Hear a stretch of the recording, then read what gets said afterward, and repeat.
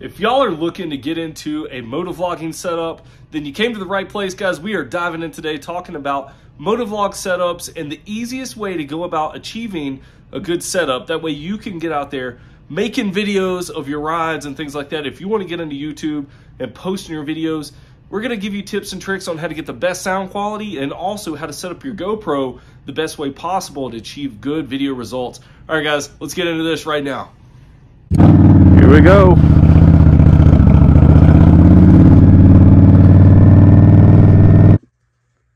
Oh, so looking at my camera setup here, we just have a GoPro with just a very simple mount and you have to buy this little GoPro piece. That way you can plug your microphone into this because it doesn't have a microphone port on the GoPros anymore.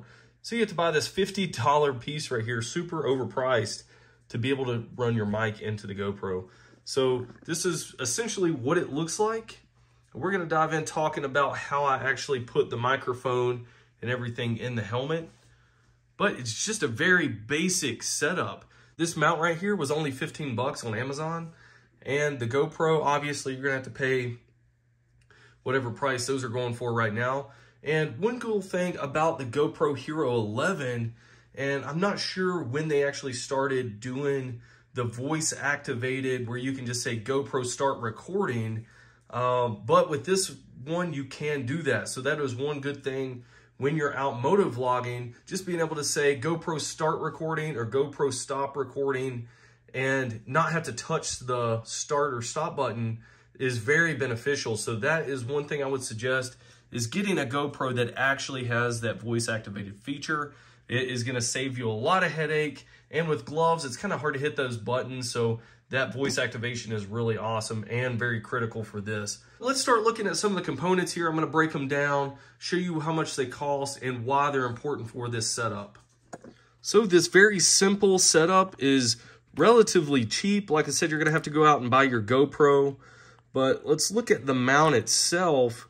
So the mount is very simple. All it has is just this Velcro that goes around the back here and it's able to lock into place. So whatever kind of helmet you have, pretty much this is gonna fit. And it just has one of those on both sides. You just cinch those down and it's gonna hold it nice and secure. And I haven't had any issues with this mount thus far. Now I do like to have my GoPro in this orientation with it facing down because it automatically converts it to right side up anyway. It's just going to give a little bit better orientation across the handlebars. And I know a lot of people like to mount the GoPros with the little side piece here that comes around. That way the camera is perfectly in line with the chin, but I don't think it really matters that much. Honestly, I can't tell much of a difference and don't really care to put those cheek pads right here because those adhesive pads don't really stick that well to this helmet and they have a tendency to fall off. And this right here just gives you that extra sense of security with the Velcro. And then once you have it down, I mean, it's kind of locking it into place anyway. So there you go. Uh, when I have the camera going and I'm riding my bike, I obviously have the face shield down. That's going to mitigate a lot of that wind from coming through and it's not going to have all that wind sound if you have your helmet screen down. So that is one thing that you need to do. But this orientation right here, your helmet is kind of looking this way anyway. It's not up like this. So there you go. It's pretty much flat, the GoPro is, when you're on the motorcycle. So don't worry about it being canted too much. And if you really needed to fix it, you could. But I haven't had any issues. I mean, you could take some looks at the footage and tell me if you think this could be improved as far as the video footage. But I think the video is really good. Now, when I first started motovlogging, there was a lot of issues with the audio. So we're going to dive in talking about with the settings that you need to use on your GoPro in order to motovlog because it's going to be critical. So I'm going to take this off and show you the settings you need to use. Turn this thing on too. So what you need to do, get this to focus a little bit better. So you go to your settings. So you want to go down to where you have your wind. So you see the wind is off. Now, usually when I record with this, if I'm not motovlogging, if I'm out fishing or doing whatever, you know, I have the wind turned on. That's going to mitigate any of the wind sound. But when I first started motovlogging, I didn't take this into consideration and it really threw everything off. So you want to go in and turn off your wind. That way, when you're plugged in with your stereo in cable from for your mic, it's not going to be trying to compensate for the wind because it will mess it up completely if you don't do this. So there you go, we're turning the wind off. Now, the rest doesn't really matter. You can do raw audio, so this really doesn't matter that much. I just keep it on all the way, raw high. And that is all you really need to do. Now, if you had a media mod, obviously you're going to be plugging into that. But that is it. Make sure you turn that wind off and you're going to be good to go. You can go back to your settings and start recording and you're going to be good to go. So that's what you have to do with your GoPro to, in order to start motovlogging. So another thing with the GoPro, if you don't turn off that wind, then it's going to be doing a lot of this right here, popping and cracking, and it sounds crazy.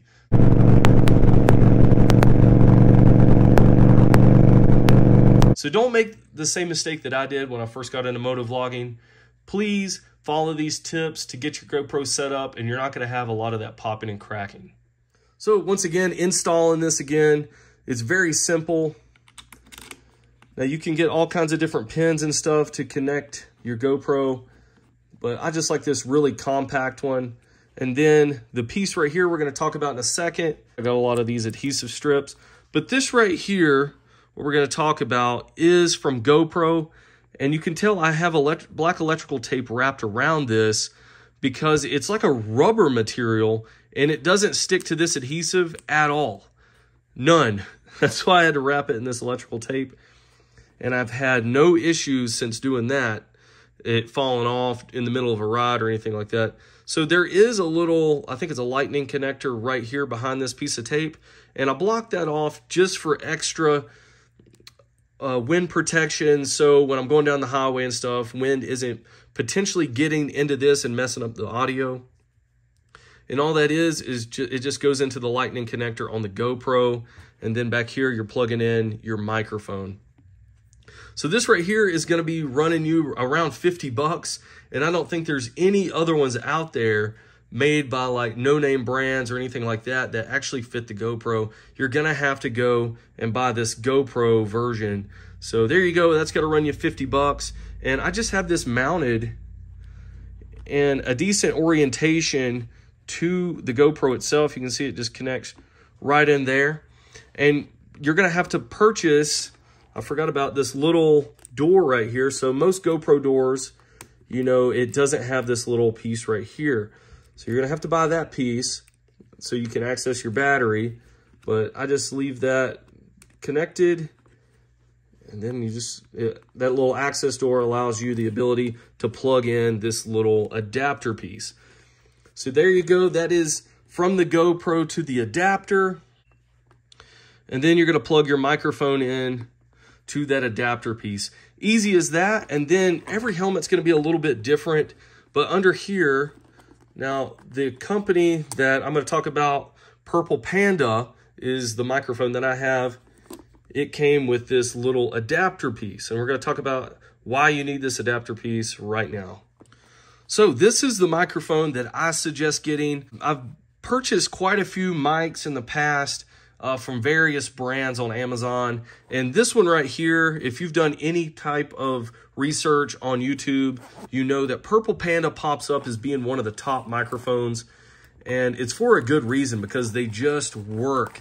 So I bought this two pack right here and I think it was only like 35 bucks. It comes with everything you need to get out there and start moto vlogging. Has a lot of different accessories and a cool little carrying case but it comes with everything you need. It comes with various splitters. I mean, I don't need this, but this one actually came with two microphones. So this is what your microphone looks like when you get a Purple Panda microphone. It's going to come with just this simple microphone cover right there. And that is what the lavalier microphone looks like from Purple Panda. Nothing too crazy. And one thing that it comes with that is probably the most critical part of this whole setup is this windscreen right here. This little fuzzy windscreen. This right here is going to take the wind noise and reduce it to almost nothing. And even though you have a full face helmet on, or I strongly suggest you using this with a full face helmet, that way the wind reduction is present. And this right here is going to have the best chance of blocking out all that wind. So you're going to put your fuzzy on. And like I said, this one came with a two pack, which was pretty cool. That way, if you have issues with your mic or something like that, you got a separate one, you know? So you're just going to put your, your fuzzy windscreen on, and that is what that looks like. And we're going to show you the placement inside the helmet, and just about every helmet you're going to be able to do this. So that right there, super critical. If you don't go with a Purple Panda mic, just make sure you have some of these wind screens. That is going to be super critical in eliminating all that wind noise.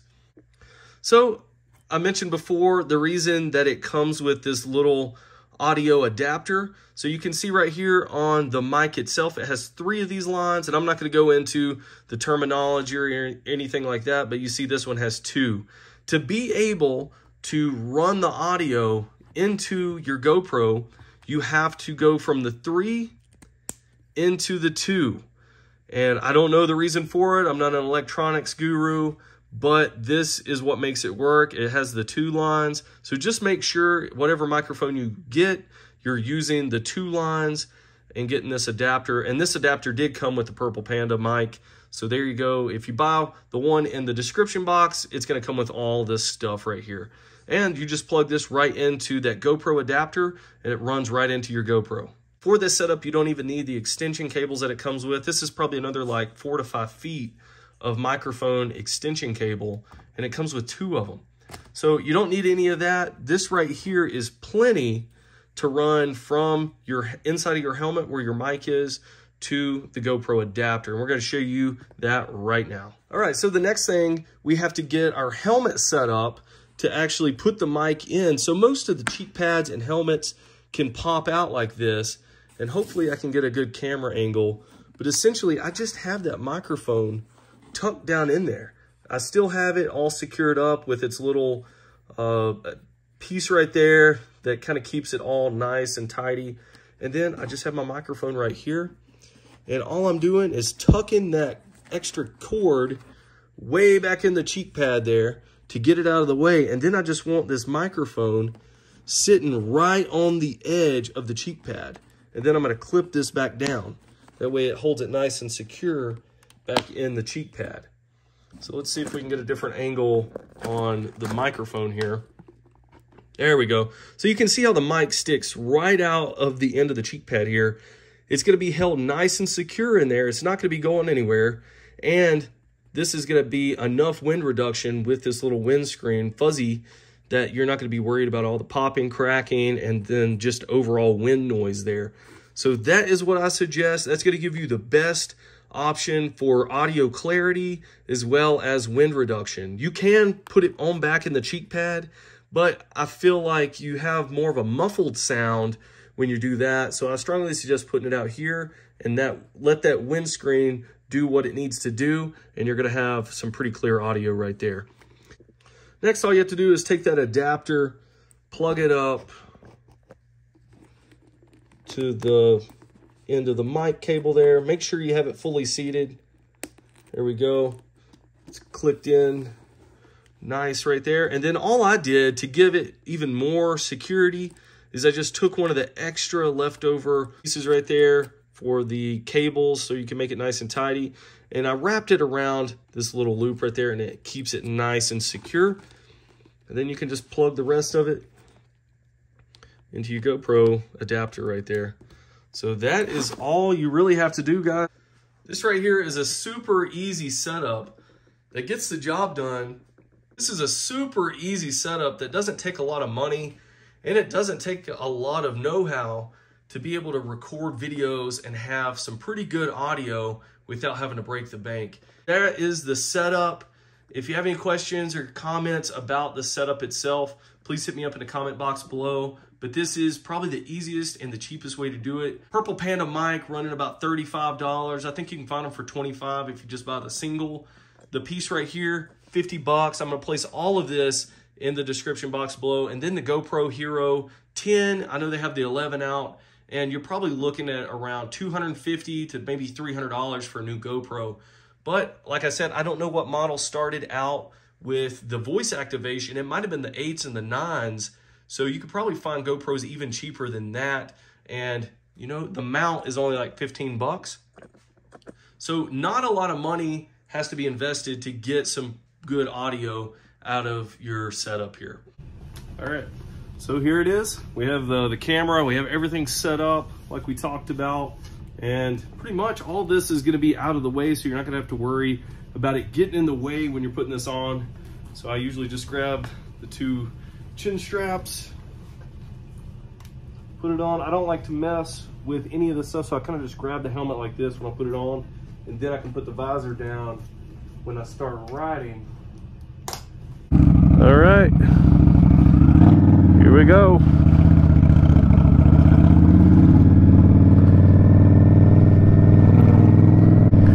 So with this setup, with it in the cheek pad, you know, it's nice and comfortable still.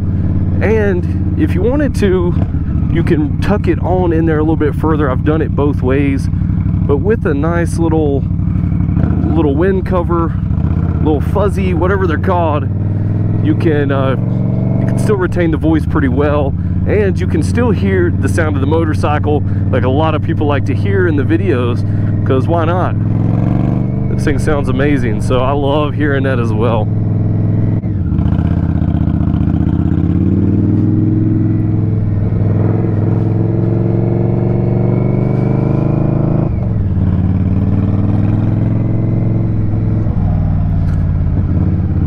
So this setup you can use on windy days. You can use it any kind of day because you have a fully enclosed helmet. One thing I would do is block off some of the wind holes and the vents on the front of the helmet. It might keep some of that wind down. But if you have one of those little fuzzies on the front of your mic, then it should kill some of that wind noise enough where you can have some very clear vocals. And at the end of the day, where you get the best clarity is from actually using a good editing software where you can kind of go through, smooth out the vocals and the engine noise you know, I haven't found a mic yet that is completely perfect to where you don't have to do some type of editing for the audio to make it nice and, and clear. It just doesn't happen. Uh, so that's where you need that editing software. So just keep that in mind if you're thinking, because this is what I thought when I first got into motovlogging. I thought I would just get a mic, any kind of mic, set it up, and it would be perfect right out of the gate and that's not the case I mean some of my videos still don't have perfect sound quality because I don't go through with a really good editing software I only use iMovie so if you want perfect clarity then you can get an editing software to smooth that out but this is the simplest way to do it if you have an iPhone and you have iMovie you can do this really really quick and easy and that's all you need the desktop version of iMovie, you can smooth out the vocals. All right, guys, thanks for watching this video. Hopefully, this was pretty informative. It's going to give you a good idea how to get your moto vlogging setup going if you're looking at doing some stuff like this, getting out on your motorcycle and making some videos, or maybe you want to start a YouTube channel and you just don't know how to do the moto vlogging setup. Don't make some of the same mistakes that I did when I first got into this. Make sure you get your GoPro set up the correct way without that wind reduction setting on. Make sure you get all that fine tuned and get the right mic right out of the gate. Don't go for the cheapest mic out there on Amazon because you're going to be wishing that you would have just bought the Purple Panda. So go ahead, get that. I know you have to spend some money to get the little adapter piece here for the GoPro. Overall, this is a pretty cheap and effective way to get out there and start moto vlogging. So hopefully you liked this video. If you did, like and subscribe. We'd love to have you. And thanks for watching. We'll catch you in future videos.